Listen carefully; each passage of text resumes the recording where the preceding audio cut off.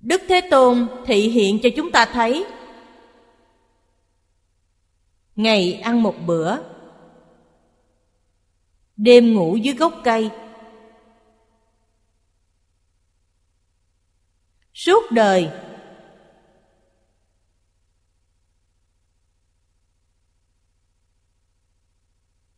Tay không cầm kim ngân, tài vật.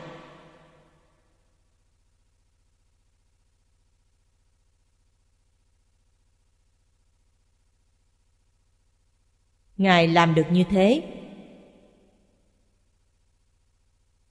Tất cả đều tùy duyên. Không hề có chút ham tâm nào.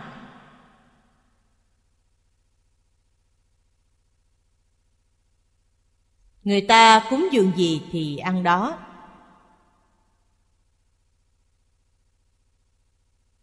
Trong lúc giảng kinh, chúng tôi cũng từng nói với quý vị Người ta cúng dường thức ăn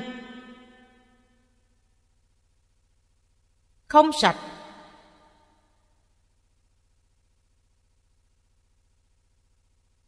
Hư thiêu Có thể ăn chán Ăn sẽ sanh bệnh. Được, Phật Bồ Tát đều có thể ăn. Trong 32 tướng có nói đến, Thức ăn này đưa vào trong miệng của Phật, Hoàn toàn biến thành thức ăn thượng vị. Cảnh tùy tâm chuyển, Tâm Phật quá tốt.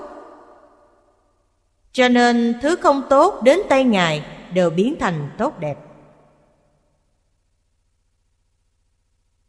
Cảnh tùy tâm chuyển. Chúng ta phải biết như thế.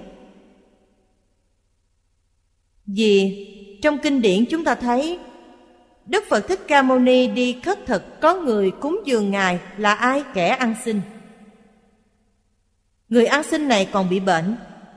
Người ta ở bên ngoài Xin được chút ít thức ăn. Vừa hôi thiêu, Mùi lại rất khó ngửi. Họ thấy Phật Muốn trồng một chút phước đức Tu chút cúng dường. Nhưng họ không có gì cả Chỉ có chút thức ăn hư này. Đức Phật quan hỷ tiếp nhận tấm lòng ông ta. Ngài không chê bai. Ngài là người phước báo đệ nhất trong thế xuất thế gian. Cho nên khi thức ăn này vừa vào đến miệng của Phật đều biến thành thượng vị, gọi là đề hồ thượng vị.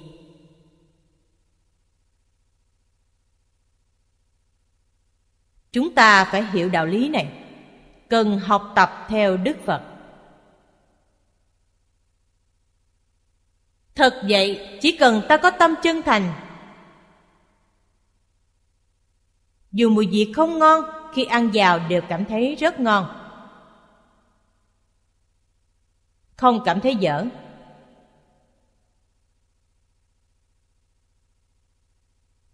Mặc dù là thứ có độc, Sau khi ăn vào đều biến thành dinh dưỡng tốt nhất. Nó thay đổi.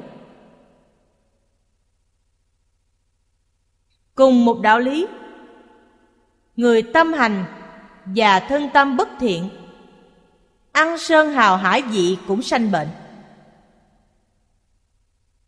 Vì sao vậy? Vì thứ ngon nhất. Nhưng tâm niệm họ bất chánh.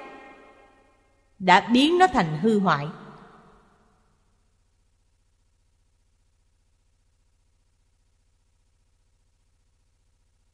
Quý vị xem, bệnh nhân trong bệnh viện lớn rất nhiều đều là người giàu có, không phải nhà giàu không thể giàu đó. Cổ nhân nói câu rất hay, bệnh giàu từ miệng, họa ra từ miệng. Đây là nói với chúng ta, ngôn ngữ và ăn uống đều phải rất cẩn thận. Như vậy thân tâm mới được mạnh khỏe.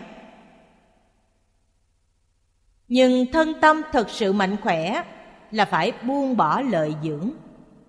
Đừng để danh văn lợi dưỡng chi phối dù chỉ là một chút. Việc tốt cần nên làm làm thật chăm chỉ, làm hết sức. Xa lìa danh văn lợi dưỡng. Như vậy là đúng.